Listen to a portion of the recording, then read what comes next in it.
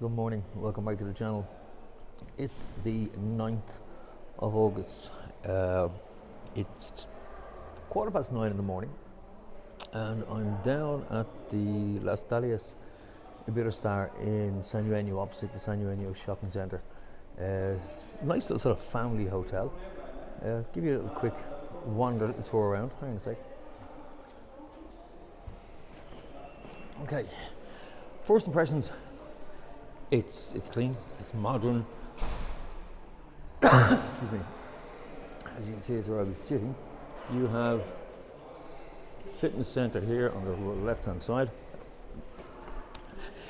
Yeah, pretty centrally located, smack bang in the middle of San Eugenio.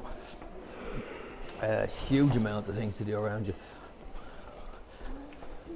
Great little location. As you can see, I like the teams.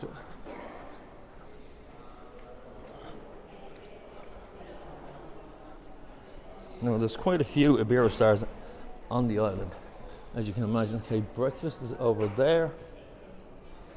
We have an entertainment room here. It's been cleaned at the moment, but as you can see, darts, nice bar. Now, I know there's normally little souvenirs being sold here. So uh, this is pretty early in the morning, so it's quarter past nine. Yeah, quarter past nine in the morning. People are still getting ready, having their breakfast. So the pool doesn't look like it's too busy at the moment, although there's a lot of towels out. Okay, we've got a stage over there.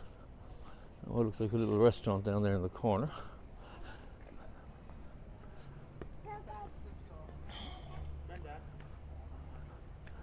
Hmm, Not the Okay, bearing in mind it's a quarter past nine in the morning. The beds are well covered. I don't even think I'd be up this early. And I normally beat the Germans to the pool. So you have two pools, this one here and a smaller one over the far side. It's not a huge hotel. As I said, great location.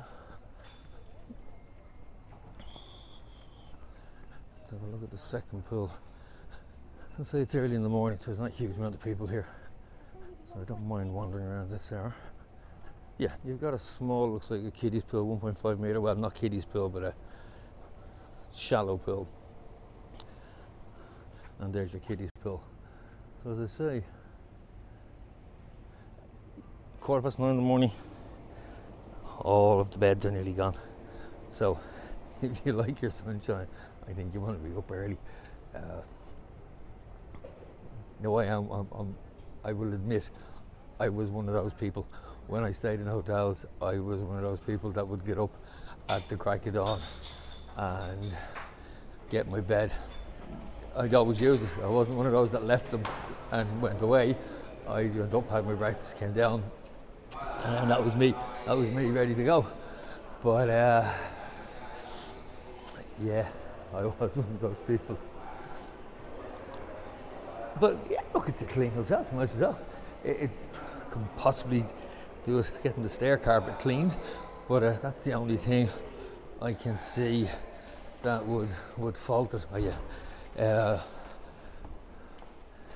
other than that, all the communal areas are nice and bright and clean, and there's kind of a mixed mixed clientele from families to older people. So yeah. from what I can see, definitely a nice little hotel. I'll show you where it's located. You have your check-in desk over there. Another little bar on this side. So all in all, when you look at the location, now you have in this direction, you've Siam Mall and Siam Park.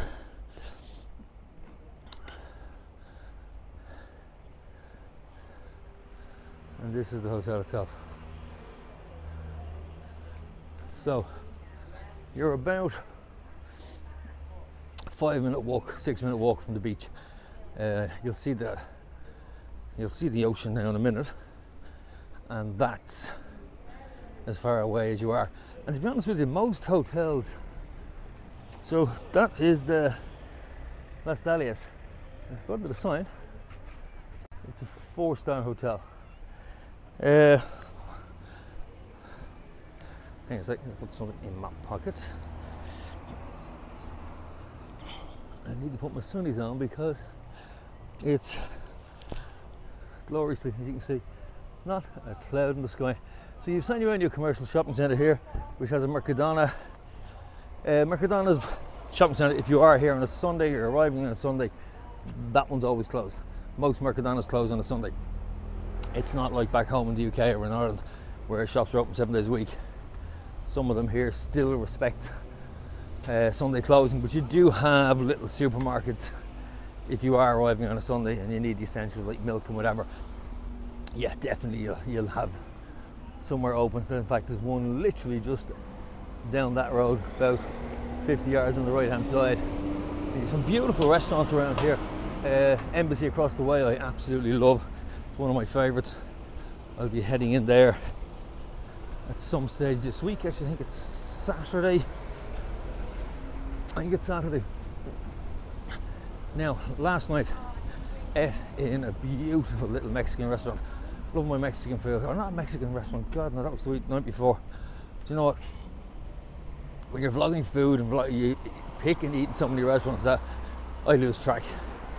Tapas bar last night, a tapas restaurant last night. And one of the nicest, it's only a tiny little place, okay? Tiny little place. You watch the lane, gonna actually walk down as far as it and uh, I'll show you exactly where it is. So you have the Bougainvillea Playa, which is another uh, Iberostar here on the right hand side. I'm actually going to see if I can get in there today and have a little look around. Again, four star, I think much more recently built than the one I've just been in. Uh, a lot bigger, and the pool area looks a lot better. I'm gonna have a little see again, see if we can get in there. I'm trying to do as many hotels as I can on this trip, give people a few ideas of what the hotel areas are like and then what the surrounding areas are like, because it's it's nice to know when you come out your door where things are. Now back to last night. Okay, food was unreal. Actually, I'm gonna pop the food in now. Now,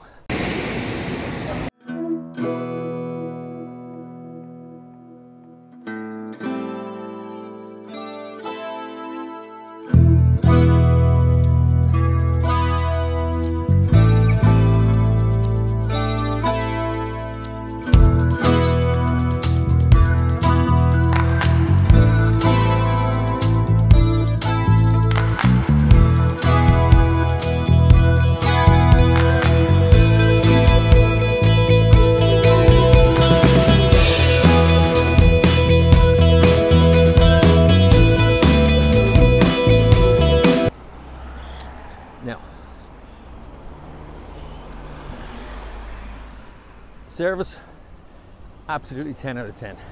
Food, I'm going to give them 11 out of 10. It's probably one of the best meals I've had in Tenerife. Without question, one of the best meals I've had in Tenerife. So, it's, it's as you can see from the from the clip, it's not it's not a posh restaurant. It's not a fancy restaurant. In fact, I'd say it's quite a basic restaurant but there was a lovely atmosphere to it. Food, as I said, and as you can see, absolutely amazing. Now, that what we had, we had five, we had five tapas. We had the croquettes. We had two lots of, uh, we had two lots of the scallops, which is probably the most expensive thing on the menu. They were 18 euros for four of them. Now, let me tell you, they were worth every penny of it. They were the most expensive thing, but they were worth every penny. Now, the bill came to 71 euro, including beers, four beers.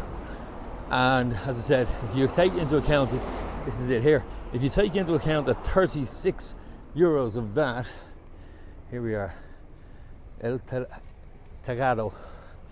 If you take into account that 36 euros of that was uh, was scallops. It was absolutely beautiful. It's without question one of the nicest restaurants I've been, and the food, without question, probably the best meal I've had in Tenerife. Certainly up there in the top five restaurants that I've had in. Staff, lovely. It's a family run restaurant. Uh, and food was hot, which is my my big biggest bugbear with food is when you get served it's not hot. That was unbelievably hot. Absolutely gorgeous. 10 out of 10.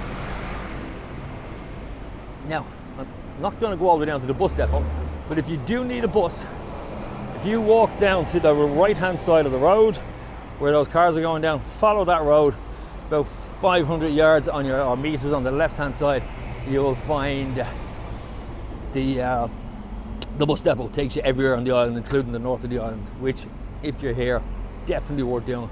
And I know I keep saying this about the buses, but they really are great value and they're actually fantastic service. So there we go. I'm going to finish up here.